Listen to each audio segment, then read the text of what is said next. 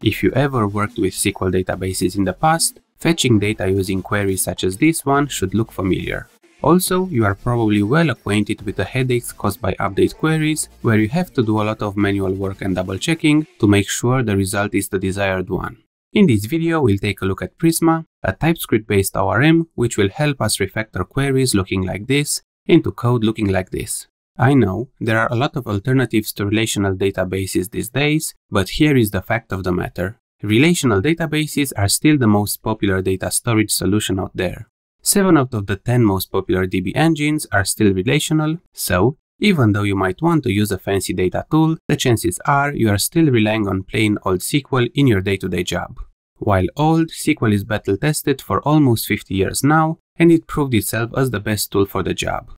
However, there are some drawbacks when writing SQL. It offers almost no security constraints, so basic attacks like SQL injection can be easily performed without validation at the application layer. Queries can easily grow in complexity, leading to the need of specialized skills.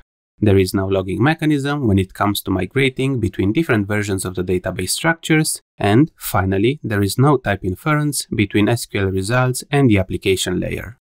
To solve these issues, developer communities came up with the idea of ORMs, which act as a bridge between your application code and the underlying database.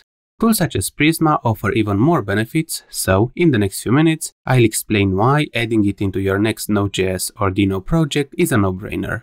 Let's not waste any more time, add the Prisma npm package in your project, and then initialize it using the following command. The init process will generate two files, a .environment file, where we'll configure our database URL, and the schema.prisma file, where we'll define our models. Prisma supports a wide range of databases, but we'll use Postgres for our demo. We'll start by defining a post entity with a couple of fields. The ORM will map the table columns to TypeScript objects, so in the definition, we'll start with the field name, followed by the object type, and, if needed, by various database configuration annotations. For instance, the ID field is a string marked as the table primary key, and we'll use an auto-generated default value to populate it. It's always a good idea to use audit columns in your tables, so I am adding a create and an update date, both using some default values.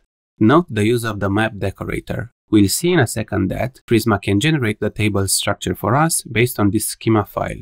However, in the generation process, the table and the column names will be matched to the field names defined in the model.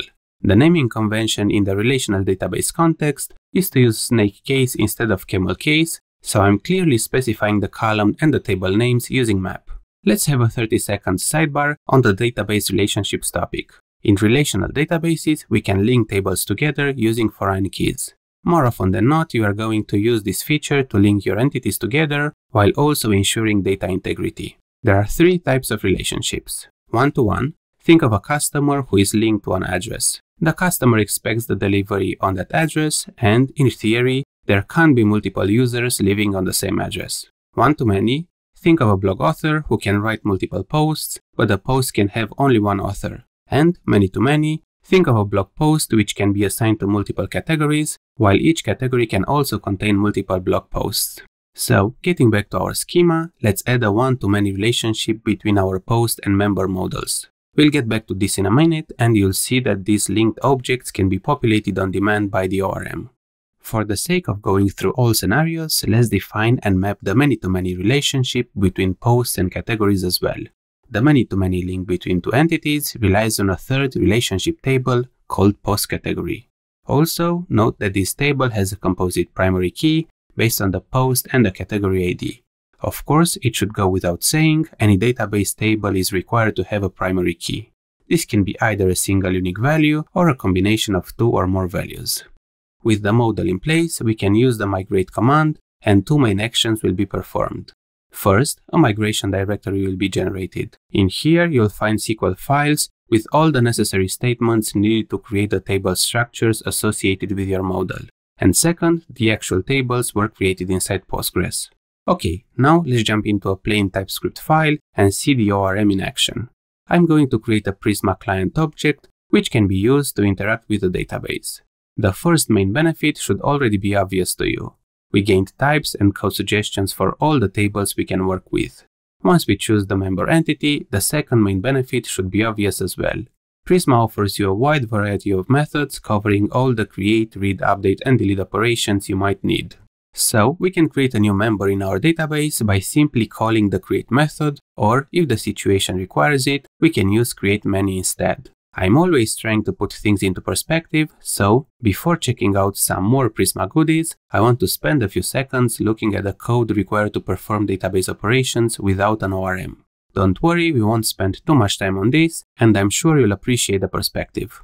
So let's install a Postgres TypeScript client, and in a new file, I'll initialize a connection pool. Connection pools are a more technical topic, but it is enough for you to know that opening database connections is a time and resource intensive process. Therefore, the general approach in backend development is to open multiple database connections, maintain and reuse them for the entire lifespan of your application. In the find by ID function, I am passing the ID to a select statement. There are two things of note here. First, the ID is passed directly to the statement, which is a big no-no without prior validation. A malicious user could exploit such code via an SQL injection attack. Second of all, I am kind of cheating, since we are using the member type which was actually generated by Prisma. Without the ORM, the member type should have been manually defined. What does this code look like when an ORM is used? Well, it'll probably end up looking like this. Way better, right? In the same note, here is a create method performing an insert to the database. Compare it with the ORM version and you be the judge of the better approach.